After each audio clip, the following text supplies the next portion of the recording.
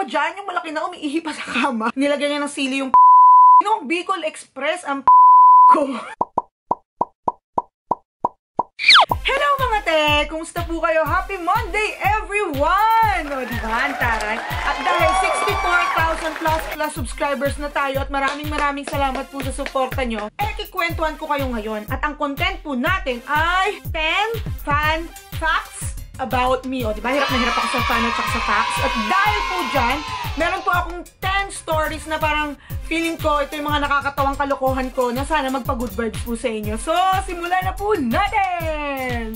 Number 10! Alam niyo po ba na nung bata ako, eh napakatagal ko po bago po ako natutong magsulat. Paano ba naman? Ang daming S sa pangalan ko, Almira Sheil Suliano. O, di ba? Yung nanay ko po, lagi po siyang may pamalo. Bawat turo niya po sa akin, eh lagi po siyang may kasamang bakal. Sino ba naman ang hindi mapufrustrate? Lahat po ng kaklase ko, pag sinusundo sila ng mga parents nila, ang pinapakita po nila ay mga tatak na star. Pagdating po sa akin ay, Tadam! Daga po. Dahil hindi ko po nagagawa ng tama ang pagsusulat ng pangalan ko. At alam niyo ba kung ba't lang natigil yon? Mula po nung napapatalastas yung bantay bata, sa tuwing may nakikita po akong pamalo, tatakbo po ako sa telepono, magdadial po ako ng bantay bata 163. Naalala ko po, hirap na hirap po talaga yung mama ko sa akin magturo ng magsulat. Pero ironically, nung tumanda po ako, eh, naging writer po ako, di ba? Pero, alam mo yun, may mga ganyan talaga, medyo mahina tayo. Nauna po kasi ako natutong magdaldal bago magsulat. O, diba? Number 9! Alam nyo ba, tuwing umaaten ng PTA meeting ang mama ko, ang bungad po sa kanya ng mga teacher ko ay, Nako, misis, ang daldal po niyang anak nyo. Oo. Never pong pumalya yun. Sa tuwing may mga ganong meeting, papasok pa lang po si mama, ang bungad po sa kanya ng mga teachers ko, Ay, misis, sobrang daldal po ng anak nyo, sobrang kulit po ng anak nyo, mga ganong ganon. So, si mama, nasanay na lang po siya. Sabi niya po nung bata pa lang ako, madaldal na po talaga ako. Alam nyo ba, hindi niya na po pangarap na magkaroon ako ng honor. Ang pangarap niya na lang ay magkaroon ako ng award na most behave, o diba? At sa awa ng Diyos, hindi po natupad yon. Isa po ako sa mga notorious na bata nung araw, sobrang hyper ko po. Naalala ko nung high school ako, ilang beses po akong pinayuhan na ipa-check up daw po ako dahil baka daw po may ADHD po ako, o diba? Ganun level po umabot yung kulit ko. Mhm. Number 8 po, ugali ko noong bumili ng mga sisiw na iba-ibang kulay. May blue-green, may orange, may pink, yellow, black, basta iba-iba pong kulay kasi aliw na aliw po ko. Tapos alam nyo ba yung mga sisiw na yun, ginagawan ko po ng bahay. Yung mga karton po ng seso, tapos may mga bintana, ito yung living room, ito yung master's bedroom, ganun. Tapos may mga pangalan po sila. At alam nyo ba mga te, nung lumaki sila, iyak po ako ng iyak dahil mga 45 days na manok lang po pala sila. Mukha po nila yung mga kinakatay sa palengke, ganon. Sobrang, sobrang disappointed po talaga ako dahil akala ko pag lumaki sila yellow, orange, ganon. Tapos tinitrain ko pa po sila, sumusunod sila sa akin kung saan ako magpunta. At hindi lang yun. May alaga din po akong dagang costa. O, di ba? Ang nung lumaki, dagang bahay pala. Ay, naku, nakakaloka talaga yung mga moments na yan, yung mga pumipila pa ako. Tapos yung hulaan mo kung ano yung mga letters, kung ano yung mga symbols. Tapos pag tama, may libre kang CCO. Ganun. Ganun na ganun po. Nako, naalala ko talaga sobrang iyak-iyak pa ako. Nung sabi ko, ala, bakit 45 days na manok to? Kaya mula po nun, hindi na po ako nagpa-auto. Hindi na ako bumili ng iba't ibang kulay ng CCO. Number 7. Dahil pinag-uusapan na rin naman po ang mga manok, alam nyo ba na sobrang mawain ko po talaga, lalong-lalo na sa mga manok. Pag alam ko po na kinabukasan ay magkakatay kami, kinagabihan po, pag tulog na lahat, pinupuntahan ko po yung manok na kakatayin. Kinakausap ko siya. Nanghihingi po ako ng tawad sa kanya. Sabi ko sa kanya, pasensya ka na. Kailangan lang talaga namin ng ulam. Or kung may birthday, pasensya ka na. May birthday talaga. Tapos ang sakit-sakit po sa damdamin ko. Tinikitigan ko siya, tapos nagpapaalam ako sa kanya. Kinabukasan po, pagkakatayin na siya, tapos nalingat po yung tatay ko, pinapakawalan ko po siya. Sabi ko, sige na go. Iligtas mo na yung sarili mo. Magpakalayo-layo ka ha. Tapos ako nang bahala sa mga sisiw mo. Ganun po ako. Tapos, magugulat po yung tatay ko, ha? Asan yung inahin? Ganun po, pero kahit ano pong pagpapatakas ko sa kanya, nauhuli pa rin siya. At awa ng Diyos, nauulam pa rin namin siya. Ibang level po talaga yung awa ko nun. Tapos pag nare-realize ko ngayon, minsan pag may nakikita akong inahin sa likod ng bahay namin, tapos naaalala ko na gano'n yung ginagawa ko. Natatawa din ako. Well, late ko na na-realize na ang mga manok talaga minsan kailangan silang kainin. Ganon. Number 6 inuutakan ko yung kuya ko nung bata kami. Kasi yung mama ko po, sobrang practical niya, sobrang tipid niya, lalo pagdating sa ulam. Dati nga, pag may nakikita akong kaklase, tapos dalawang hotdog niya, piling ko ang yaman-yaman nila. Kasi kami, isa lang yung hotdog namin, tapos binawi na lang po sa mga patatas. Ganun. So, ang ginagawa ko po sa kuya ko, pagkakain kami, lalo pag ang ulam po namin, eh, Lucky Me, nilalagay yan ni mama sa tasa-tasa. Well, ang Lucky Me naman po kasi talaga, eh, sobrang sarap. Parang yung tipong, pwede na siyang ulam. Tapos pag binasa mo yung likod, ang dami niyang nutrients na makikita. Yung mama ko, minsan hinahaluan niya ng malunggay, hinahaluan niya ng itlog, yun yung inuulam namin.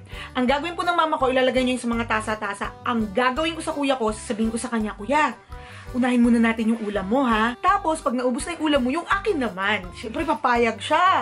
Kain, kain, kain, kain, kain, kain. Pag ubos na yung ulam niya, pag kukuha na siya sa akin, lagi akong galit. Oo, oh, tama na yan! Ang dami naman yan! Ang dami naman yan! pag naalala namin ngayong dalawa, natatawa kami pag napag-uusapan namin. Plus, inuutakan ko rin siya paghugasan ng pinggan.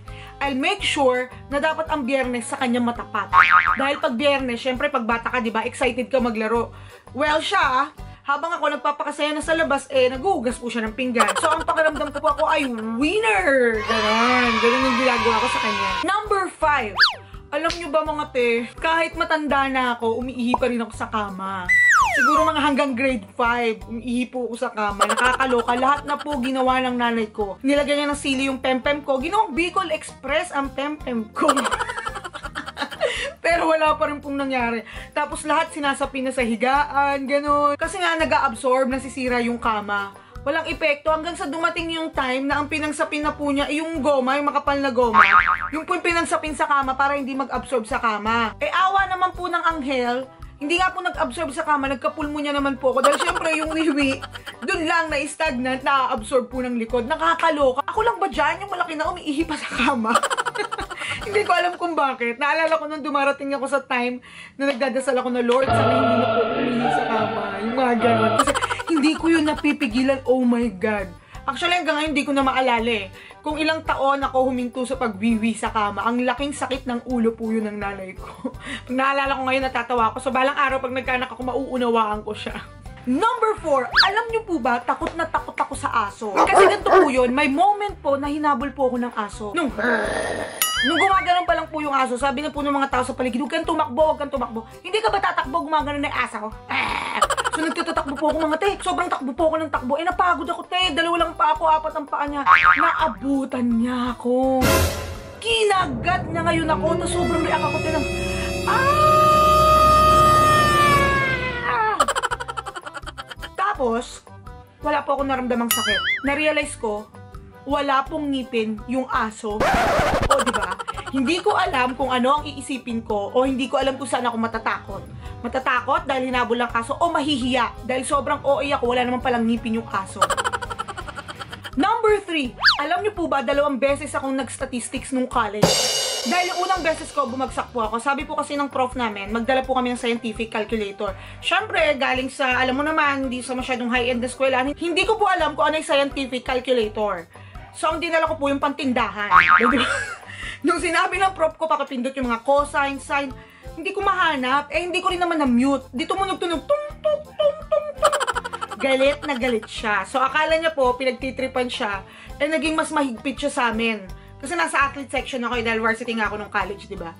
Eh, ayun, kaawa-awa mo, bumagsak po ako. Kasi nahirapan talaga ako sa statistics. Mahina yata yung common sense ko pagdating doon.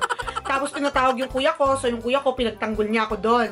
Ang nakakaloka sa kuya ko na sobrang talino umabot sa batok, sabi niya sa harap ng dean ko at saka ng prof, kunin mo ulit yung subject na to sa kanya. Dahil hindi ako naniniwalang bobo ka sa math. Mabuti, na-pressure ang lola mo pero sa kanya ko pa rin kinuha. Nagpakbait naman ako tapos, para maging sobrang talino ko, dalawang scientific calculator na yung dala ko. Totoong scientific calculator na po. Ayun, nakapasa naman po ako sa pangalawang pagkakataon kahit pasang awa po, di ba? Pero ginapan ko po talaga yung statistics na yan. So, binabati ko po yung prof ko. Hi, Sir Javier! Number two, alam niyo naman po siguro na hindi talaga ako kumakain ng gulay. Well, actually, kahit po yung kuya ko hindi siya kumakain ng gulay, yung sister ko lang at saka si Dwayne, sila po yung kumakain ng kahit ano.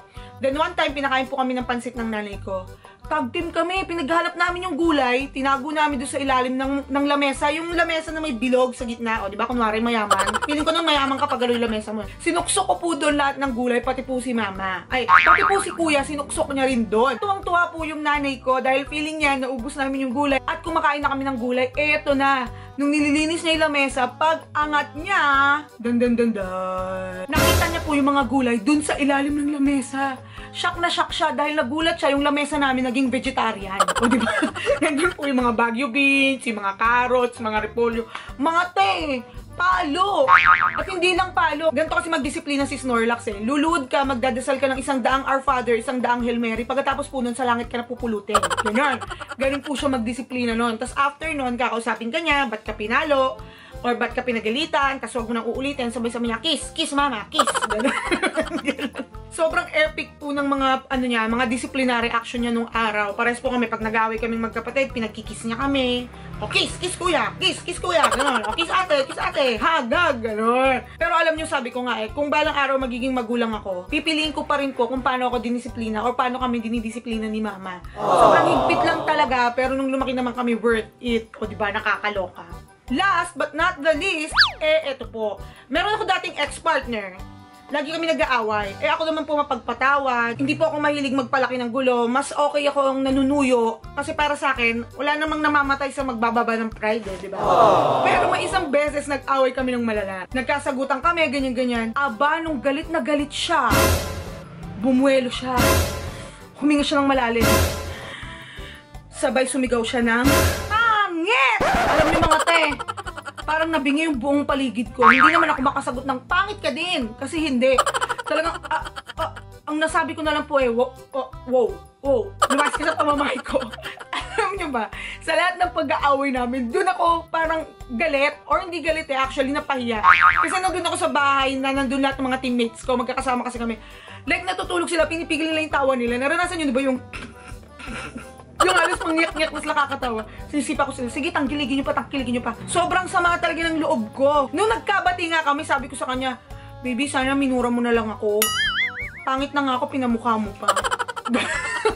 Ngayon, ah, kahit ilang taon na lumipas, well, masaya na rin naman siya sa buhay niya. We're good friends. Pag naalala namin ng mga teammates ko yun, natatawa pa din kami. O kaya may naririnig kami sa paligid na nagsasabi ng pangit, titingin sila agad sa akin. Kasi parang napaka-epic talaga nun. Lalo nung pagsugod niya, talagang bumuelo pa siya.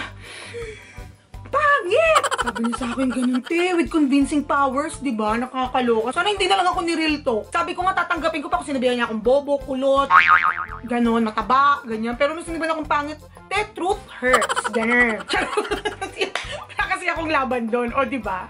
At ito na nga po ang ilan sa mga masayang kwento ng mga ganap sa buhay ko. At syempre hindi pa po ito nagtatapos dito. Dahil alam kong matagal na panahon pa po tayong magsasama-sama ako, di ba? Basta tuloy lang po natin yung goal nating magka-abs kakatawa, mag-spread ng good vibes, o di ba? So ang masasabi ko lang po sa inyo mga te, na minsan sa buhay kailangan po talaga nating mag-explore ng mga bagay-bagay. Ah, pag nagkamali, eh di matuto. Kasi sabi nga nila, di ba, sa buhay natin, it's not ang hirap ng English. Sabi nila, hindi naman kung ano yung narating mo sa buhay mo. Minsan is kung how you live your life. The journey, yung mga masayang bagay. Siyempre, mag-explore ka na mag-explore, sumubok ka ng mga bagong things, ganyan. Tapos, siyempre, yung mga happy memories, kailangan mo siyang i-keep sa puso mo. Dahil pagdating ng panahon, pag matanda ka na, magkaroon ka ng mga anak, magkaroon ka ng mga apo, may makikwento ka. Siyempre, ibabahagi mo din sa kanila yung mga leksyon na natutunan mo doon. Sabi nga, di ba, trust like a kid. Kasi di ba yung mga bata, napaka carefree, masaya lang, madali silang magtiwala, madaling magpatawad, and all. Basta ganun lang, masaya ang buhay, we just have to live happily. And syempre, we just have to be kind and healthy. O, han, taray. Kayo ba mga te? Ano ang mga unforgettable, masasayang moments nyo? Comment down below nyo yan para mapagkwentuhan natin. At syempre, comment down below nyo na rin po kung may mga gusto pa kayong ipagawa sa akin. At kung kaya naman natin, pati mga challenge na twisted, eh gawin po natin yan. At bago po yan, ito po ang aabangan nyo sa channel ko. Panoorin nyo na! Oh,